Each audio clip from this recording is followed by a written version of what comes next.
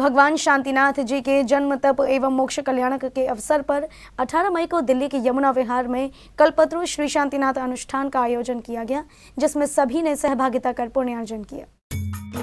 आचार्य श्री अनेकांत सागर जी महाराज सत्संग के पावन सानिध्य में दिल्ली के यमुना विहार में 18 मई को कल्पत्रु श्री शांतिनाथ अनुष्ठान का आयोजन किया गया। आचार्य श्री अनेकांत सागर जी महाराज सत्संग के पावन सानिध्य में यह अनुष्ठान श्री निर्मल सागर सभागार में आयोजित हुआ।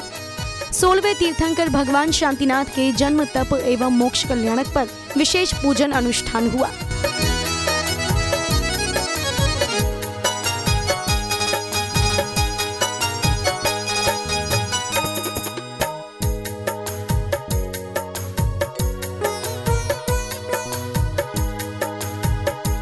गुरुदेव के सानिध्य में स्थानीय जैन समाज ने भक्तिभाव के साथ सहभागिता कर धर्म लाभ लिया।